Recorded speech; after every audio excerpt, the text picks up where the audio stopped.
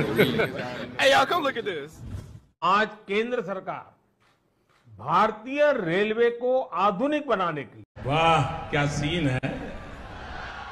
आज केंद्र सरकार भारतीय रेलवे को आधुनिक बनाने के लिए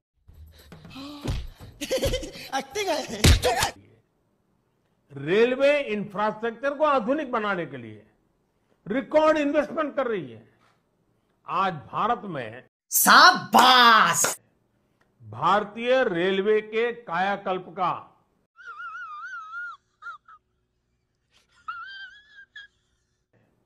भारतीय रेलवे के कायाकल्प का।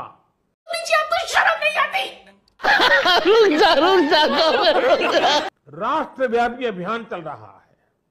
हाथ जोड़ के मैं मैं मोदी साहब से गुजारिश करता हूँ, इसमें राजनीति मत करिए।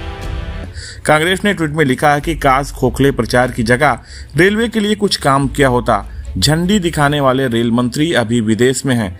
नाम वाले रेल मंत्री ध्यान दें। उधर सोशल मीडिया पर रेलवे की किरकिरी हो रही है। एक यूज़र ने ट्वीट किया है कि मानसून की पहली बारिश में भारतीय रेल का ये हाल है। सेकंड एसी में ऐसा है तो फिर जानवरों, यानी जनरल वाली बोगी में क्या हाल होगा? वहीं एक यूज़र ने चुटकी लेते हुए कहा कि रेलवे ने यात्रियों के लिए ठंडक का खास इंतज़ाम किया है। आप लोग यात्रा का मज़ा ले सकते हैं। भारतीय रेलवे भले ही हाईटेक होने का लाख दावा करते हैं, लेकिन समय समय पर रेलवे के दावों की पोल खुलती रहती है। कुछ दिन पहले एक वीडियो देश की सबसे premium train Vande Bharat express की छत से पानी लीक होता दिख गया था। वहीं अब एक बार फिर से कुछ ऐसा ही हुआ है। अवंतिका एक्सप्रेस ट्रेन के सेकंड एसी कोच के अंदर अचानक तेज़ी से बारिश का पानी गिरने लगा। छत से इतना ज़्यादा पानी बरस रहा था कि ट्रेन में सवार यात्री भीगने लगे।